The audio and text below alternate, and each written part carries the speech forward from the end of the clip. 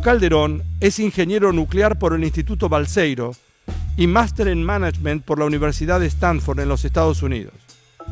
Es gerente de proyectos aeroespaciales, profesor, consultor y asesor curricular en agencias y ministerios provinciales y nacionales.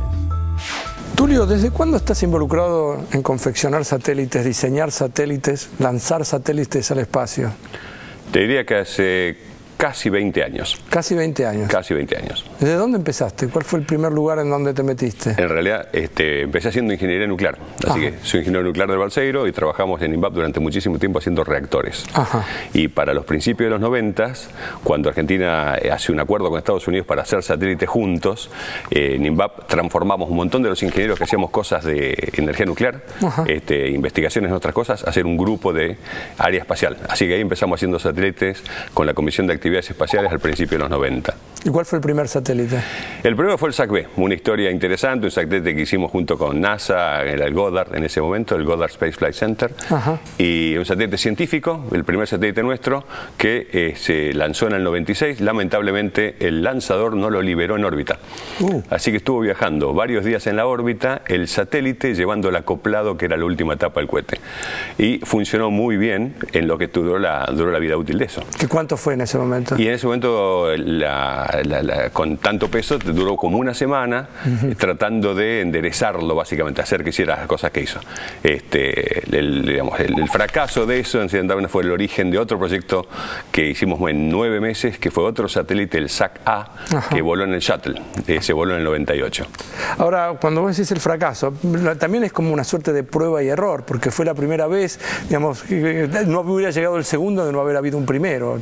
Si uno no fracasa, no aprende. Sí, qué sé yo, no sé si llamarlo fracaso, eso es lo que me cuesta trabajo aceptar. En el camino, las estaciones hasta llegar, hay muchos caminos intermedios. Totalmente, o sea, lo que nos quedó ahí fue, lo más importante, nos un grupo de gente excelente, aprendimos las técnicas, pusimos a andar los sistemas, así que hacer el otro satélite demostró que todo eso funcionaba y eh, realmente este, todo ese aprendizaje después permitió hacer un grupo muchísimo más grande que encaramos el siguiente proyecto, mucho más ambicioso, que fue SAC-C, este, que, que ese fue un proyecto muy interesante. Este, ¿Qué año se- fue eso? Y eso, se- SAC-C está volando hace 12 años, se lanzó en noviembre del 2000.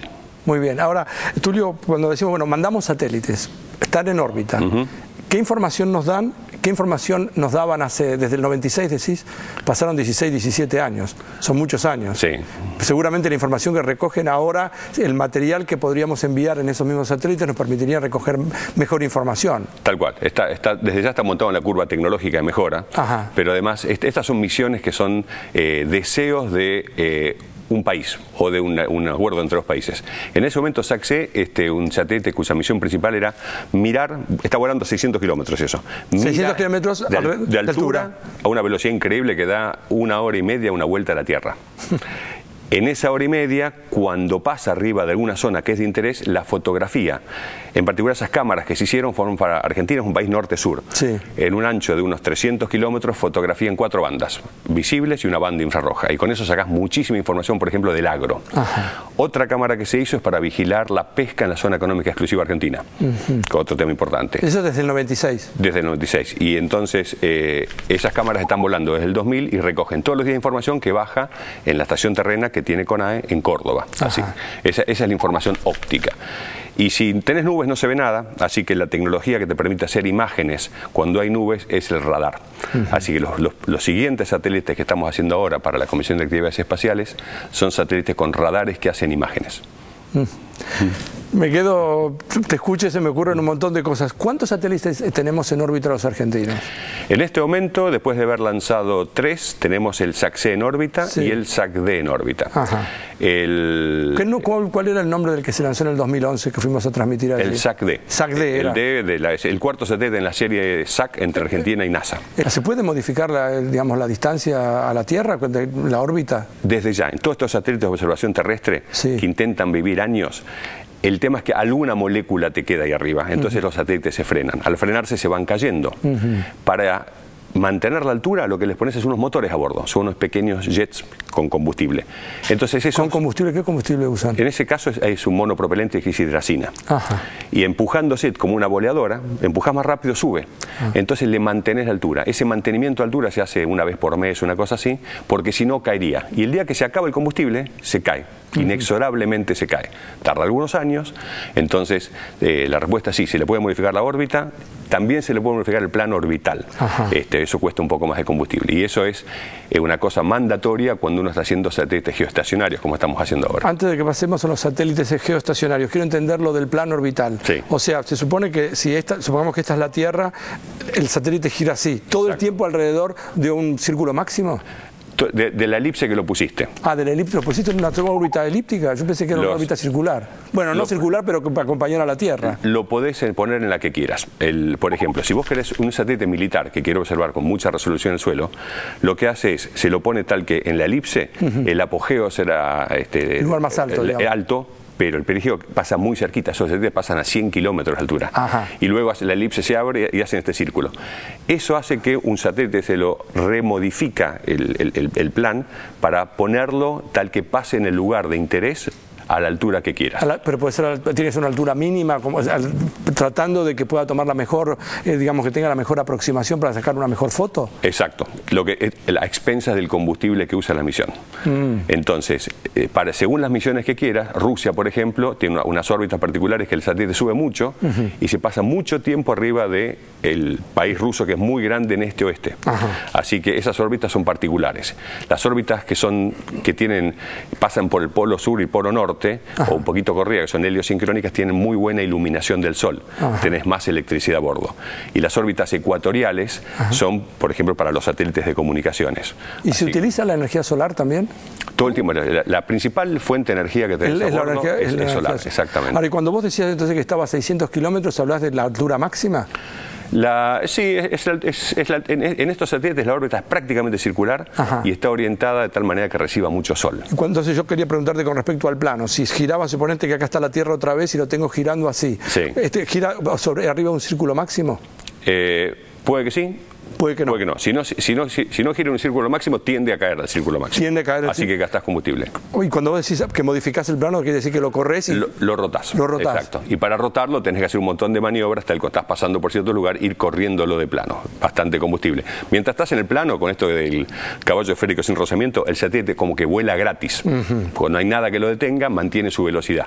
Sin utilizar combustible. Sin utilizar combustible. O utilizando una cantidad muy pequeña. Mínimo para mantener la altura, mínimo. Y para que funcionen los equipos que están adentro no hay necesidad también de energía? Entonces recurrís a paneles solares. Y los paneles solares hay eh, desde satélites chicos que tienen algunos watts, como es un panel solar de una casa, hasta satélites de comunicaciones que tienen de repente 20 kilowatts y los paneles tienen un, ancho de 100 metros. Se despliegan, despliegan, despliegan con un transformer, esas cosas. Tulio, eh, bueno, vamos a hacer una pausa y después quiero hablar sobre los satélites, eh, ¿cómo se llaman ahora? Porque ARSAT 1, 2 y 3. 1, 2 y 3, sí. Volvemos inmediatamente después de esta pausa con el ingeniero Tulio Calderón, que nos está educando con respecto a qué es lo que hace el país en materia de satélites. Ahora seguimos.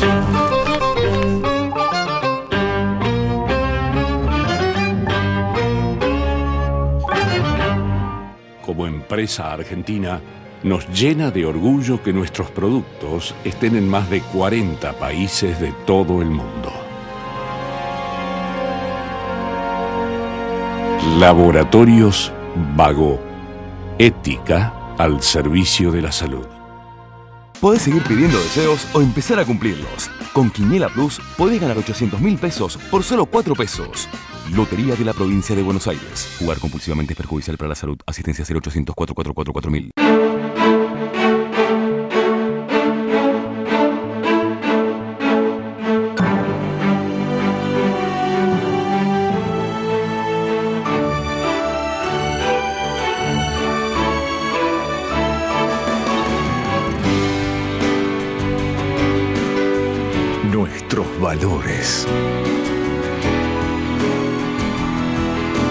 Nuestros colores.